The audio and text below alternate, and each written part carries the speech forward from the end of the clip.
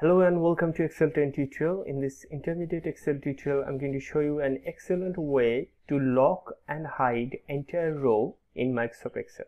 Okay, let's get started.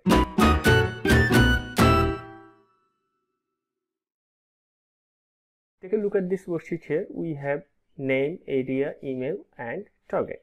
And I want to hide email and target row. I want to hide this information in a way that nobody would ever know them. Now let's follow the procedure I'm using here and you'll be able to do it. First, select the entire worksheet and then right click, format cell from protection, uncheck lock, click OK. Now select the row you want to hide, right click, format cell, hidden and lock okay.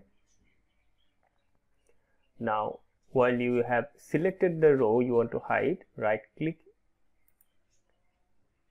format cell and from the number tab select custom and from general remove that and write 3 semicolon.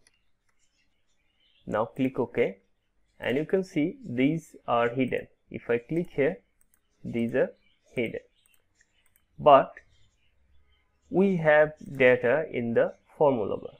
So for that we are going to select the entire worksheet, click on review tab, protect sheet, add password, enter password again and if I select on any cell of this hidden row you can see we have nothing on the formula bar. So you can see we don't have any data in row 3 and 4 but there is no hidden row here. It's just invisible to us. If anybody check this worksheet they will know that in row 3 and row 4 we don't have any data. But if someone want to enter a new data here they can do it because it's locked.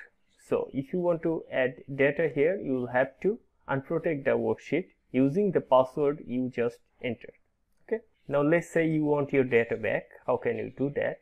Click on the review tab, and unprotect sheet, enter the password and now select this row, right click, format cell. From here remove this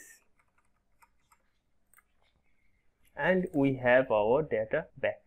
This is what I wanted to show you. Thank you. Thanks for watching. See you in the next tutorial. If you can, support the channel through Patreon and don't forget to subscribe. Thank you. Thanks for watching.